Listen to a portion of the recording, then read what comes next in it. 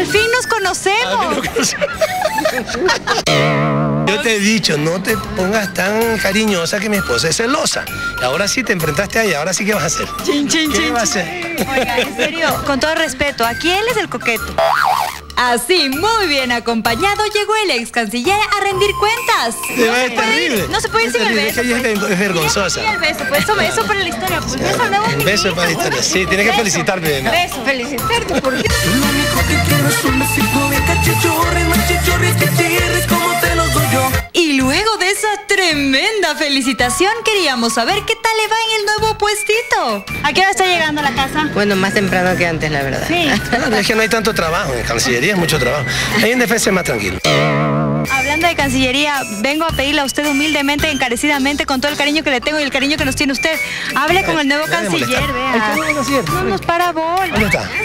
Ahí está, ahí está. A ver, díselo de la cara. yo le voy A a ver hacer- si te atreves. Pero por supuesto, sí lo hemos intentado varias veces. Aquí está, vea. Por favor, apoye. En corto que moleste. no. les hagas caso. No le pares bola. Yo nunca les daba ninguna entrevista a ella. Si quedamos que viva colitar, no.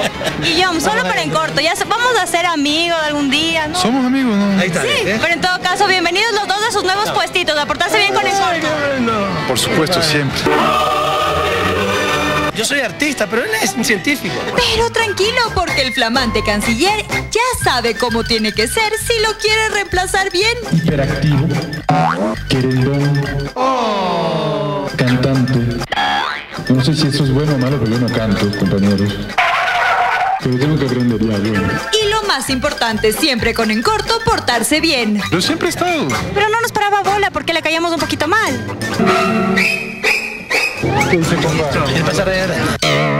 Como dicen por ahí la campana, perdón, Ricardito lo salvó, pero solo por esta ocasión. Aleboada. En corto. En corto, Guillón. Déjalo, él quiere-